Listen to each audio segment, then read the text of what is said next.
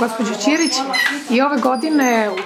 Zanatska zadruga Damsko srce je deo programa Božićne škole sportova i aktivnosti, da tako kažemo, jer nisu samo sportovi ovoga puta aktuelni i interesantno je videti da kod vas svake godine ima sve veći broj dece. To bi možda trebalo da znači da naši zanati neće tako lako izobrati i da još ima dece koja bi volela da to nauče i da se kasnije time bave. Kakvi su vaši utisci ove godine i koliko polaznika imate?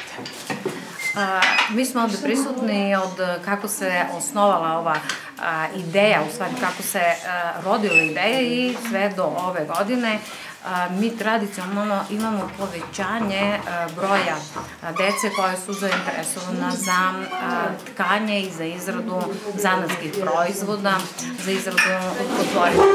Tradicionalno uvek imamo više od 50 polaznika, ne kažem tačan broj iz razloga što negde oko 40 imamo dece koje su stalno po dnevno u toku raspusta, bar jedno, dva do tri časova prisutne, i desetak dece koje koja nam se priključuju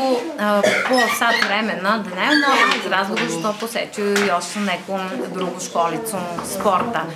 Kod nas se javljaju deca koje su kreativna, koja imaju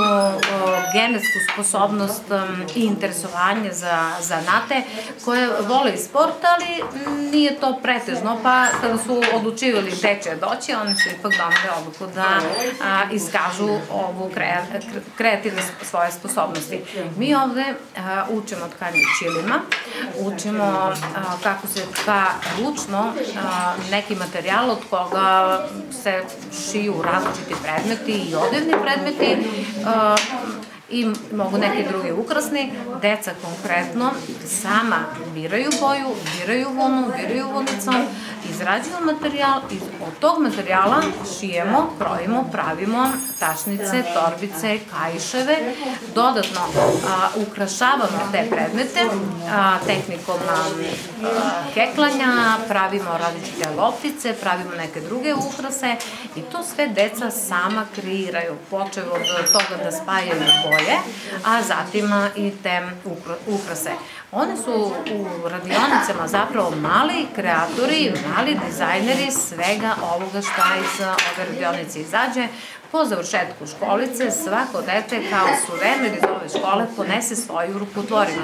To je dobro da ponese kući zato što pokaže i svojim roditeljima i baki i prijateljima i drugim drugarima koji se jako zainteresuju kako sad to a, je napravljeno, pošto deci nije poznato kako se a, pravi materijal, a vi ovde imate prilike da sami zatkate i napravite materijal od koga možete da sašijete svašta nešto.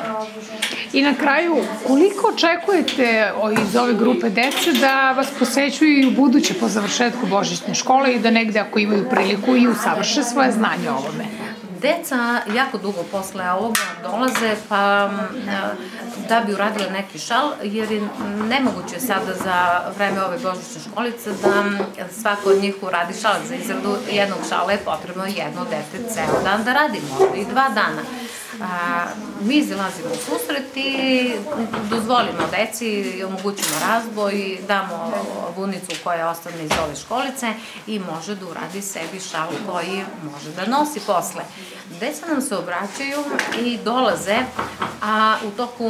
leta imamo te letnje školice gde onda ovako organizovano isto dolaze kod nas da bi